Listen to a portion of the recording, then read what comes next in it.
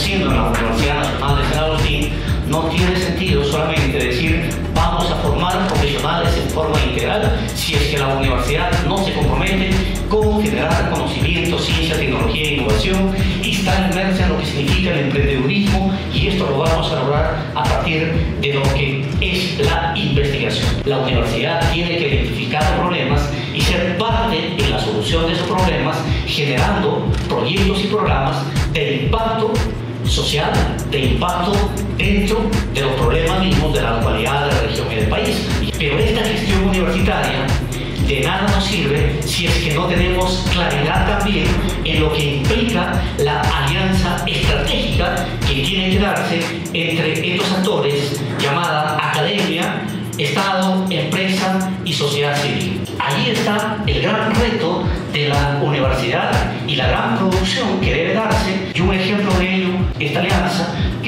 con el Instituto de Ingeniero de Minas del Perú, donde la academia le ha dicho, acá tienen nuestra infraestructura y ese es un modelo a seguir, porque se esperando que estas conclusiones justamente nos sirvan también, no solamente para tenerlo como memoria, sino que esto se operacionalice, se lleve a la práctica y por lo tanto sea la propia universidad, por ejemplo, la que haga un seguimiento de las conclusiones y de todos los aportes a los que se arribe el producto de esta 33 convención y haya una rendición de cuentas de esos resultados en la próxima convención.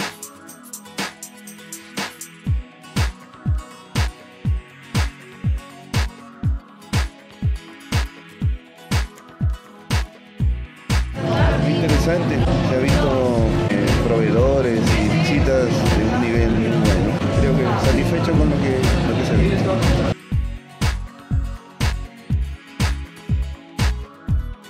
mejor nivel de empresas, mucho mejor nivel de empresas, cada vez está mejorando, cada vez está mejorando, ¿sí?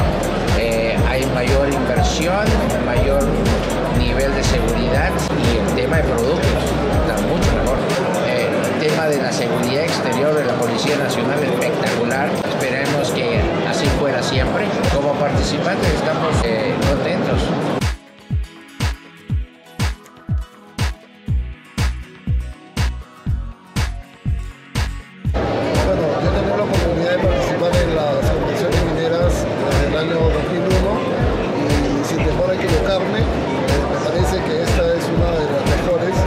Justo como estábamos por la mañana con los compañeros, hacíamos una comparación respecto a la versión anterior y encontramos que la feria ha estado bastante mejor estructurada, bastante más ordenada, los servicios mejor establecidos.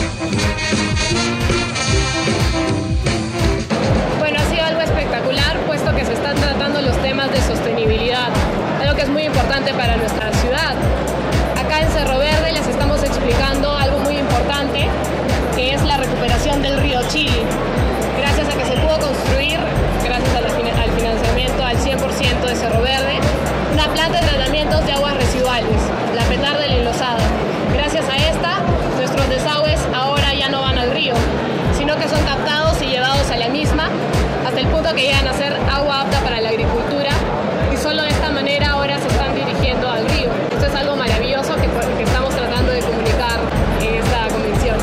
Mira, te voy a ser sincero, yo he sido en esta universidad, he pasado cinco años, quizás más de estudio aquí y me parece una buena oportunidad para, para poner en el ojo mundial a la- a una universidad tan importante que tenemos nosotros aquí en Arequipa.